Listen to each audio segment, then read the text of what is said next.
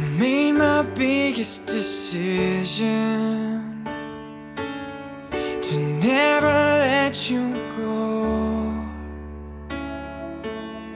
Now I'm completing my mission to make you mine all the time.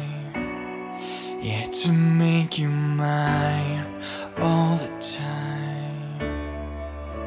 And it feels like